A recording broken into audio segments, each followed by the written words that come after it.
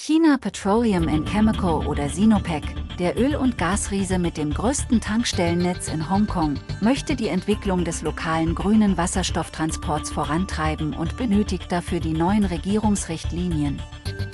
Das Unternehmen sieht in der Stadt erhebliche Chancen, die Präsenz und Nutzung des emissionsfreien Kraftstoffs zu steigern.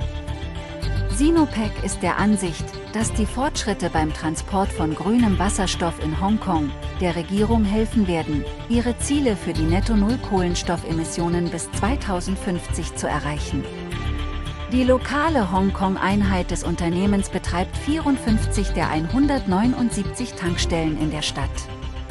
Es hat die Regierung dazu gedrängt, schneller bei der Politikgestaltung zu handeln, damit Sinopec früher Wasserstoffkraftstoff in die Stadt bringen kann. Orte wie Südkorea, Japan, Festland China, Europa und die Vereinigten Staaten haben bereits mit der Einführung von wasserstoffbetriebenen Schwer- und Langstreckenfahrzeugen begonnen, um Benzin- und Dieselfahrzeuge für einige Jahre zu ersetzen, sagte Sinopec-Geschäftsführer der Hongkong und das Tankstellengeschäft in Singapur, Anthony Kuhn. Die Entwicklung in Hongkong war etwas langsam, insbesondere bei Nutzfahrzeugen, die Entwicklung der Lieferkette braucht Zeit. Es gab positive Rückmeldungen der Regierung zur Entwicklung des grünen Wasserstofftransports. Laut Poon haben die verschiedenen Regierungsabteilungen, mit denen Sinopec Gespräche geführt hat, positive Rückmeldungen zum Fortschritt der Politik gegeben.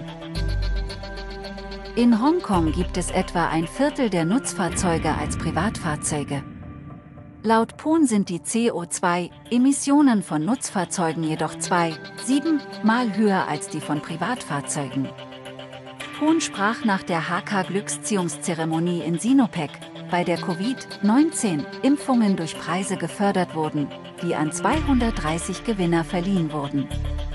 Die Preise waren insgesamt 220.000 US-Dollar wert.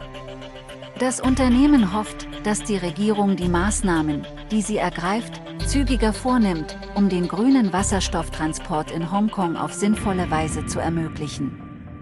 Dies würde mit den Absichten der Hongkonger Regierung übereinstimmen, eine saubere H2-Taskforce einzurichten, um Möglichkeiten einer tieferen Dekarbonisierung zu erkunden, so eine Erklärung von Umweltminister Wong Kamsing vom Mai 2021. Vielen Dank, dass Sie sich für hydrogenfuelnews.com entschieden haben. Verpassen Sie nicht Ihren kostenlosen Zugang zu unserem exklusiven E-Book, melden Sie sich noch heute an. Folgen Sie dieser Geschichte und mehr auf HFN.